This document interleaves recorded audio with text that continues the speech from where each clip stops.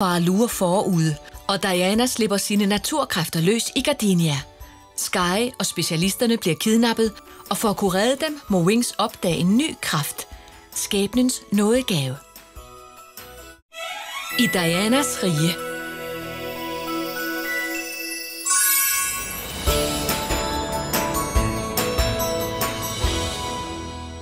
Du nævnte skæbnens nådegaver, fru Fargonda. Hvad er det egentlig for noget? Jeg er bange for, at jeg ikke kan afsløre det for jer endnu. Men I skal tidsnok opdage det selv. Se.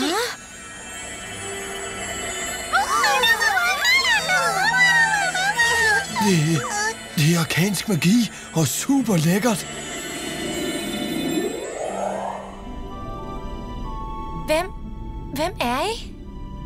De hellige feer, tidsløse magiske væsener, mægtige og rene. Fargonda har påkaldt os med en besværgelse, og nu er vi her for at hjælpe jer. Ja? Vi kan forstærke jeres magiske energi ved hjælp af den nye magi, skæbnens nådegave. Gaverne er blot næste stadie af Believix-magien. De vil gøre jer i stand til at overvinde de vanskelige udfordringer, som venter jer forude, og den vil gøre jer stærkere. Der vil komme adskillige gaver. En for hver udfordring, I står overfor.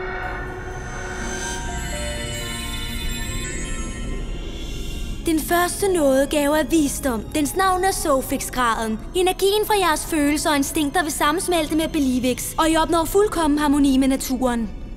I får brug for Sofix-graden på jeres mission til Amazonia.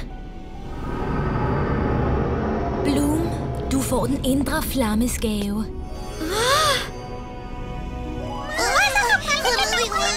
Flora, naturens åndedrag.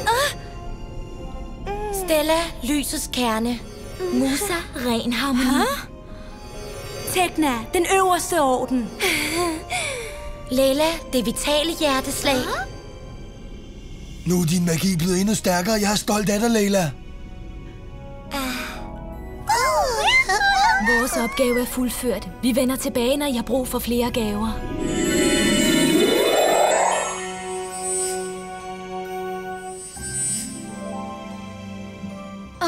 Dejlige feer. Hvor end I er. Tak. Der er ingen tid at spille. Specialisterne bliver holdt fanget dybt inde i Amazonas. Vi må finde dem. Jeg tager også med jer. Det er sødt af dig, Roxy, men den her mission er simpelthen for farlig for en fe, som ikke har Believix-kræfter. Okay, så bliver jeg her til mig en endnu farligere mission. At holde øje med en flok ustyrlige kæledyr.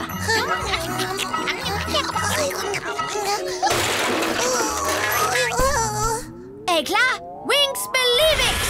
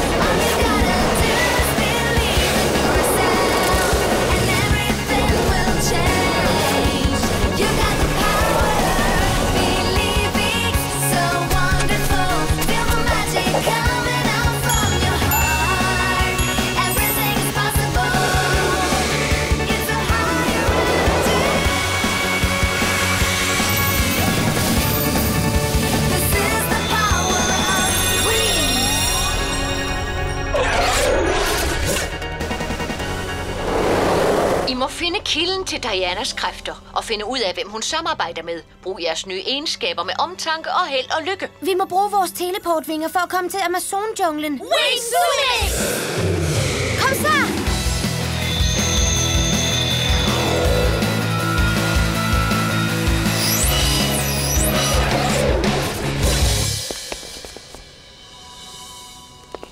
Bare vent, Musa. Vi skal nok finde Rimmon. Vi finder dem alle sammen.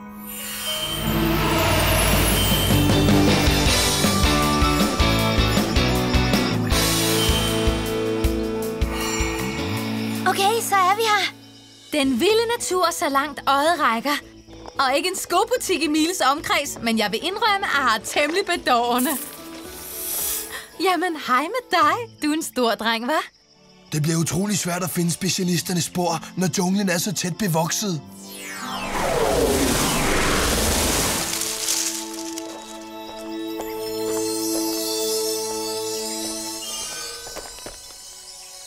Vent, jeg kan mærke Dianas energi. Hun er helt sikkert kommet her forbi. Jeg ved det. Så lad os se os lidt omkring. Vi må hellere tage et hurtigt kig på fortiden. Wings Trace 6!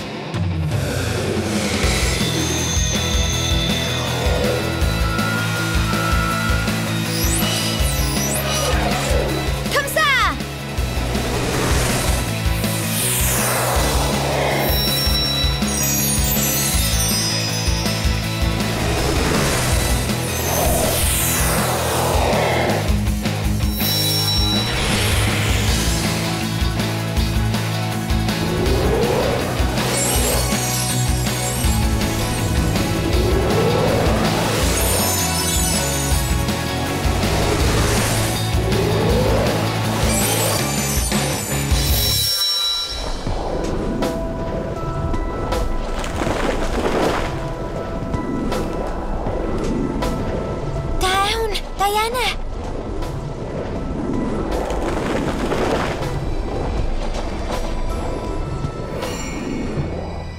Tja, så ved vi, hvor vi skal hen.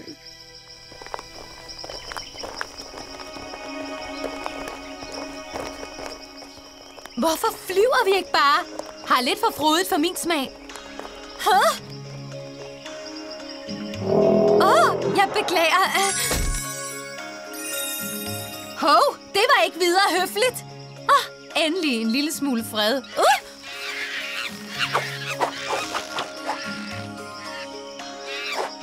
Næste gang tager vi altså Roxy med. Det er hende, der er dyrenes fe, ikke mig. Er der fri bane? Uh, hvad var det? Piger, kom og se det her. Jeg tror, vi har fundet Dianas skjulested. Krigerfeer! Kan du også fornemme det? Ja, yeah, luften er tyk af magisk energi. Feer. De ved, at vi er her. Jeg håber ikke, det er min nye parfume, der har afsløret os. Hvad gør vi så nu? Distraher dem, så prøver jeg at snige mig ind i templet. Nabula, vær, det er for farligt. Her, det er herovre. Leila, flyv! Nu! Vi må beskytte Naboo. Lad os prøve at lokke dem væk herfra. Vi lader dem ikke slippe væk.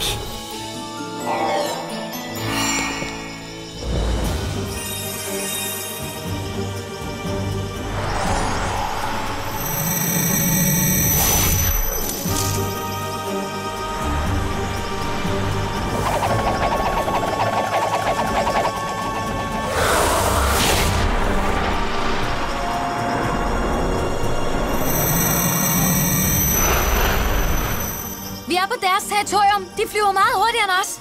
Så må vi hellere bruge hovedet. Vent, den magiske energi er begyndt at svinde hen. Hvordan det? De var her jo for et øjeblik siden. Godt tænkt, Flora. En transformation var nok til at dæmpe vores magiske energiniveau. Phew, er vi her alle sammen, piger? Ja, mere eller mindre. Hvorfor har de lavet junglen så knudret? Åh, sikkert råd. Hvad? Hvad? Hvad er der sket her? Åh oh, nej. Planterne, træerne, al den ødelæggelse. Hvem kunne dog finde på sådan noget? Her har ikke været feer på spil, men mennesker. Hvorfor har de ødelagt så meget af skoven? Jeg kan kun mærke, mærke smerte og lidelse, og det er så kraftigt. Jeg kan ikke... Åh. Flora!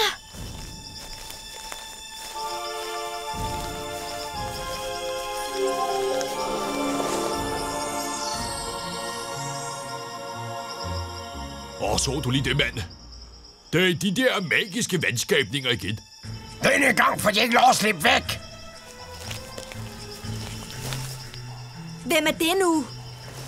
De er skovhuggere. I skal ikke prøve at lade som om I er almindelige piger. Vi så godt, I brugte jeres magi. Slap nu af, vi vil bare snakke med Vi jer. har arbejdet her i mange år, men efter I er ankommet, så kan vi aldrig få arbejdsro, vel? De må tro, at det er os, der er krigerfæerne. Vi har fået nok af jer. Vi har arbejdet, der skal gøres, og I er temmelig meget i vejen. Har I nogensinde tænkt over, hvad der vil ske med skoven, hvis I bare fortsætter med det her? Nej, jeg er ligeglade. Hey, kan I ikke genkende os? Vi er Wingsfæerne. Ser I aldrig tv herude i junglen? Ah! Kom så, gutter, og lad os sende dem retur igen. Der er de! Vi er omringet. Der er flere, og de er bevæbnet. Lad os ordne de flyvende først. Jeg kan se, I ikke helt har fattet pointen endnu.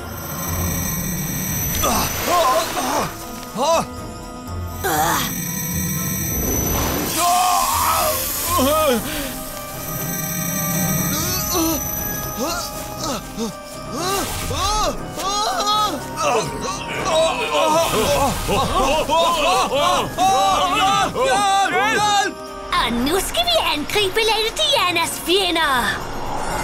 Tøser, det er nu, vi skal bruge vores gaver. Wings Sofix!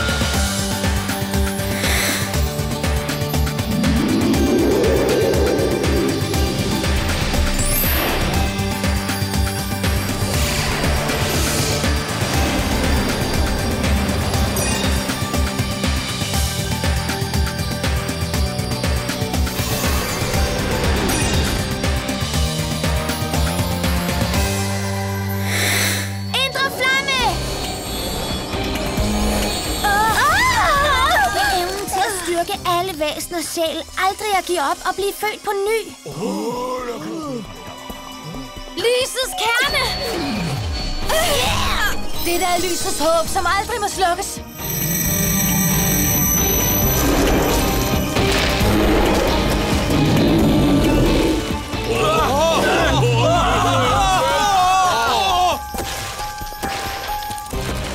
Det vitale hjerteslag. Dette er den indre rytme, den naturlige puls, som giver liv til alle levende skabninger. Ren harmoni.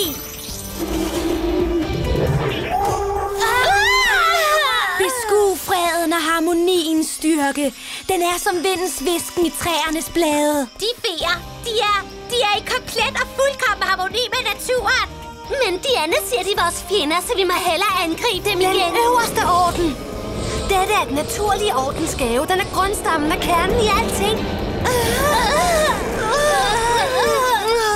Naturen og de feer. Det er næsten som om de er en og samme ting. De er umulige at besejre. Naturens åndedrag. Det er naturens kræfter, den vitale energi fra rødderne, som skyder op gennem den sorte muld.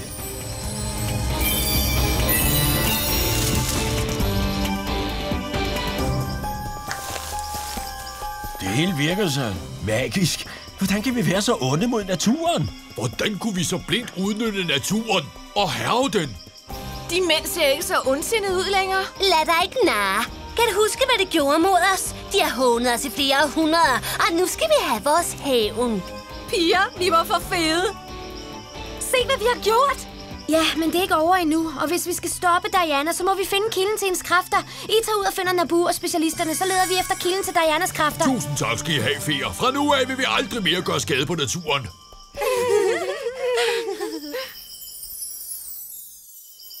så øh, hvilken vej skal vi flyve? Her? Der? Der? Eller... Vent, jeg tror, jeg kender den rigtige vej. Sofix-energien trækker mig i den retning.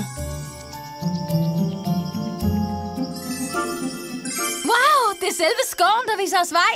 Den kan se, at vi er en del af den. Vores sammensmeltning med naturen er fuldendt, og det føles virkelig rart. Vi er tæt på, piger. Kilden til Dianas kræfter må være lige i nærheden. Jeg tror ikke, det er fare for nogen mere. Lad os tage til templet og lede efter Naboo. Bare roligt. Træerne slipper jeg fri, så snart vores mission er overstået. Det her er ikke slut endnu. Jeg håber virkelig, at Naboo fandt de andre.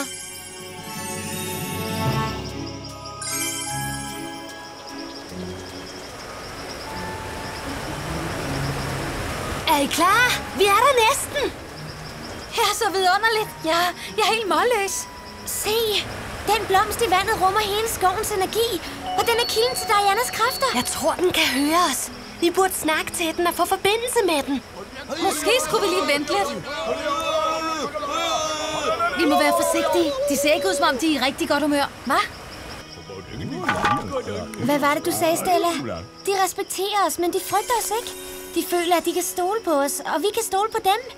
Hmm, lad os se. De er indfødte fra den subekvatoriale region, og de er et meget gæstfrit folkefærd. I. I er de magiske væsener fra skoven. Vidunderlige skabninger, som svæver i blandt os. Vi har set jer kæmpe mod dem, som har stjålet vores land og ødelagt vores skov. Men nu kan alting måske vende tilbage til det, det var engang. Takket være jer. Naturen håber på det, og vi tror på det. Det er derfor, vi er kommet. Vi vil hjælpe jer med at komme i kontakt med den hellige blomst. Den er selve kernen i naturens kraft.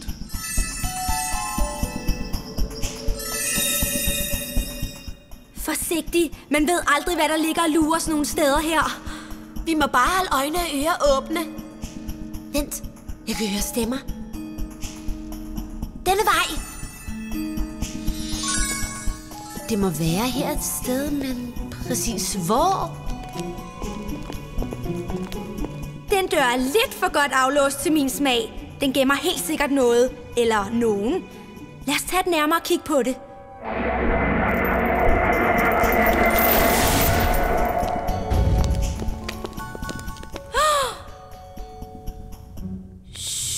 Det ser ud, som om der er vagter dernede. Har de fanget Naboo? Lad os spørge dem og finde ud af det. Du rører dig ikke! Hvad? Musa? Riven! Riven, er det virkelig dig? Åh, oh, Riven! Flora? Helt ja. Endelig fandt vi dig.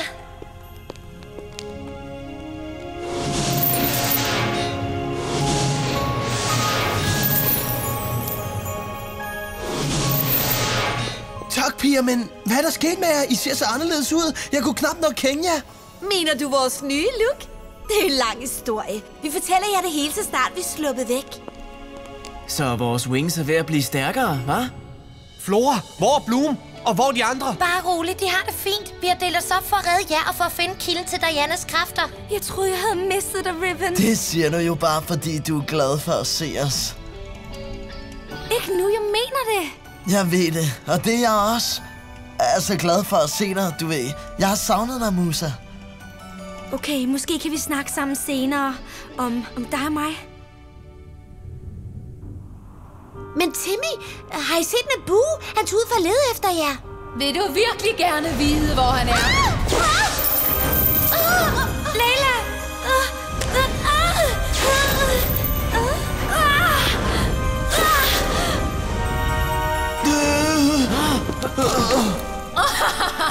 Havde I virkelig troet, at Dianas tempel ikke havde en vagt? De her kæder svækker os. Vi kan ikke bruge vores nye kræfter.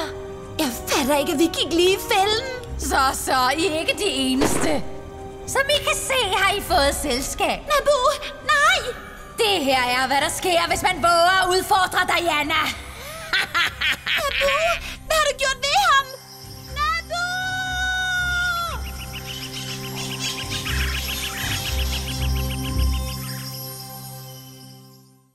I næste episode.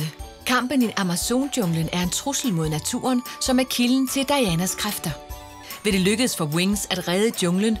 og forhindre krigerferierne i at lade deres frede ramme jordens befolkning.